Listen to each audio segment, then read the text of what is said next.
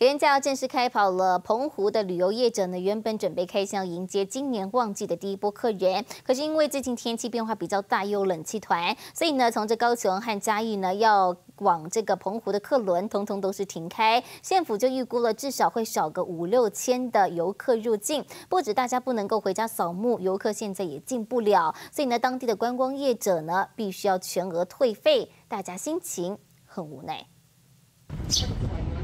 港口空荡荡，只有零星几艘船在行驶。这里是澎湖马公港，每年四月一号都由嘉义布袋到马公的豪华快轮开启澎湖观光季序幕，但现在却宛如空城，全是因为我们四月一号。到四月三号，船有没有开？都没有，这边有那个公告。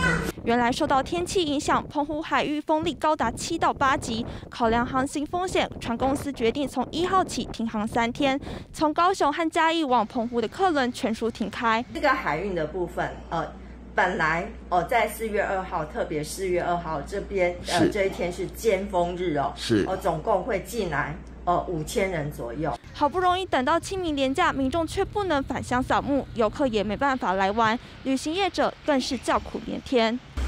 大概退了四分之一因为客人大部分都选择取消，没有办法用延期的方式。旁边的租车业者也很心酸，没有游客，整整一排机车租不出去，只能无奈的整理机车。那取消就要全额退费给客人了。哦，他。九成吧，大概是坐船来的比较多嘛，是，那那好像有影响到坐团餐的有影响到，餐厅业者更是无奈，客轮没开，游客进不来，至少影响六千到七千人，业者预估三天损失产值可能高达三亿元。